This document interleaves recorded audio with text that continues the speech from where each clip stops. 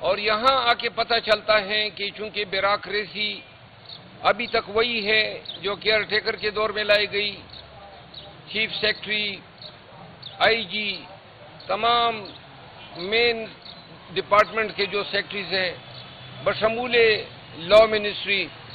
تو یہاں کیسز میں کوئی پیش رفت نہیں ہے۔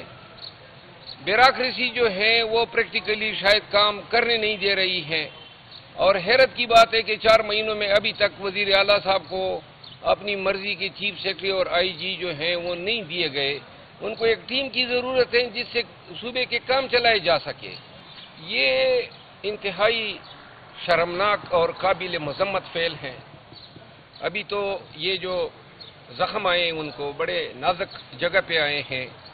پھر جس طریقے سے اور یہ بتا رہے تھے ایک دن قبل بھی ان کے لیے یہ لوگ آئے تھے بہرحال رعوف حسن صاحب جو ہیں، وہ پاکستان تحریک انصاف، جو پاکستان کی سب سے بڑی پارٹی ہیں، اس کے ترجمان ہیں۔ اس کے ساتھ جو سلوک کیا گیا ہے، وہ ایک دمکی ہے پیغام ہے پاکستان تحریک انصاف کی اس لیڈرشپ کے لیے، جو میڈیا کے سامنے آ کے ببانگ دال اسٹیبلشمنٹ اور دیگر جو ہماری سیاسی مخالف پارٹیاں ہیں، ان کے بیانیے کا منہ توڑ جواب دیتی ہے۔ اور شاید اس سے ہمیں ڈرانے کی کوشش کی گئی ہے لیکن پاکستان تحریک انصاف، اب اتنے ڈر، خوف اور اتنے مصائب سے گزر گئی ہے کہ شاید ڈر بھی اب ہمارے نزدیک نہیں آتا ہے۔ نہیں، مجھے پارٹی سے تو نہیں نکالا گیا ہے۔ کور کمیٹی اور پولیٹیکل کمیٹی سے نکالا ہے۔ اور اگر کوئی چیز اور بھی رہتی ہے تو اسے بھی نکال دیں۔ لیکن میں پی ٹی آئی میں ہوں، خان کے ساتھ ہوں۔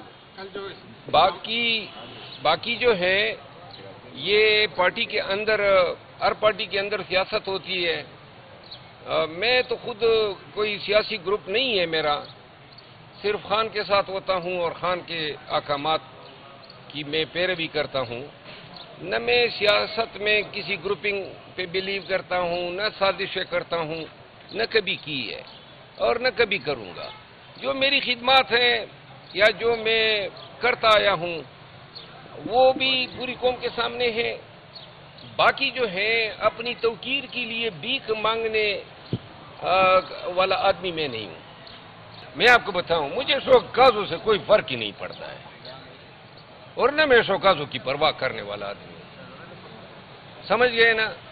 میری خدمات پارٹی کے لیے والنٹری ہے، کسی تنخواہ پہ نہیں ہے۔ نہ مجھ پہ، ان خدمات کی عوض کوئی مجھ پہ بارش ہو رہی ہے۔ اور یہ جو خدمات ہیں، یہ کیا ہیں؟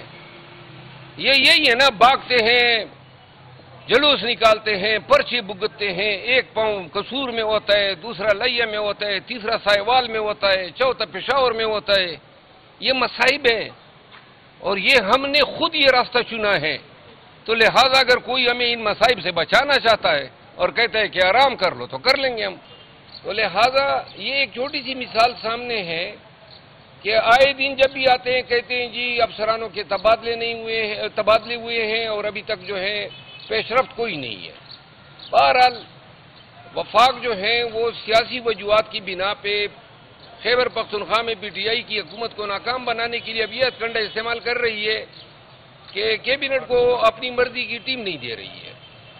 آج میرے کیسز تھے، دو درجن سے زیادہ کیسز کیئر ٹیکر نے اپنے دور حکومت میں خیبر پختونخوا کے مختلف اضلاع میں میرے خلاف درج کیے تھے۔